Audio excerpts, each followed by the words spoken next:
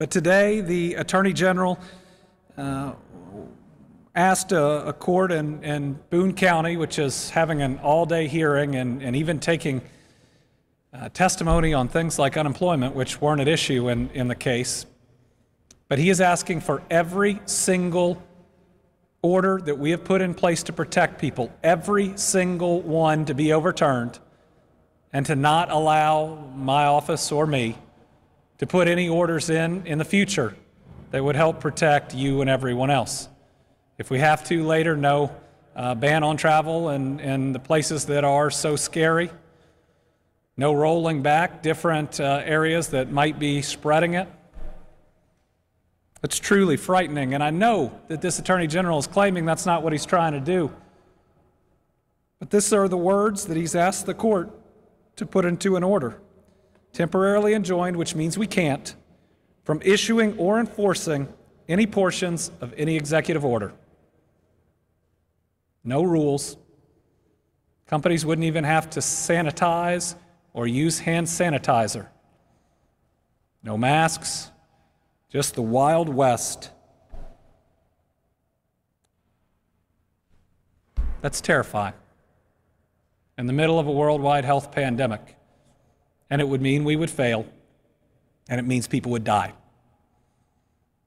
I never thought, as a day to day as governor, I would have to eh, deal with issues of life and death, and I've felt every death that we have had in this virus. And one of the things that keeps me going is I know we would have so many more. I'm sure when I look back, I've made mistakes. I, I, keep thinking of Washington's farewell address, where in his second to last point he made, he admitted surely he made some mistakes.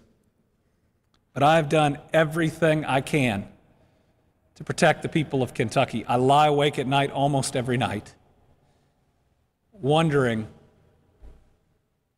how many people we're going to lose and whether we're going to go the same way as other states.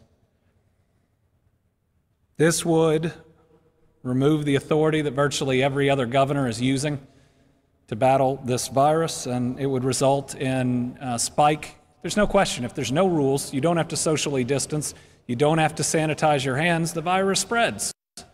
We all know that. It's basic scientific fact. So if we see cases, Goldman Sachs says we'll lose $10 billion in our economy, and that's just from not wearing masks. Why don't you plow everything else on top of that? I don't see how we get our kids back in schools if they're going to go home or, or out afterwards, and there are absolutely zero rules that keep the virus from spreading. And we lose more people. No school, harmed economy, and more death after being attorney general and being involved with, uh, with the governor in some disputes, it's, it's something I never wanted. I don't want to go back and forth uh, with my own AG, but I will fight every day for the lives of Kentuckians. And even if it creates drama that I don't want, even if it uh, takes away time, and it does, I had half my office out today because of it. I'm going to do what it takes to protect the people of Kentucky. But, folks, this is wrong. It is really, really wrong. Don't play politics with the lives of people. It, don't play politics with the lives of people. The request that's made wants to eliminate every single ability to f- enforce any of the healthy at work requirements, any of them. No capacity limits anywhere. Fill up a stadium, full bar all the way out you know, people out in the streets. We know how deadly that can be, and it's just plain irresponsible. But I want you to know that what this would do would do more than just destroy our economy, cost lives, and keep kids from being back in schools. You know, the orders that are included here also include expanding workers' compensation eligibility for workers that have to quarantine as a result of exposure.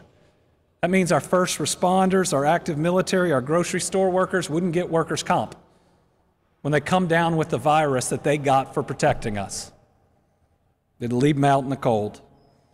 It would also eliminate my waiver of copay, deductibles, and cost sharing and diagnostic testing fees for private insurance. It would charge people for taking these tests.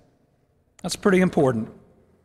And those are the facts, and that's the truth. And we face all of this at a time when our cases continue to be high. We have another day where we're over 400 cases. Today, we are reporting 413 new cases of COVID 19, bringing our total number to 21,083.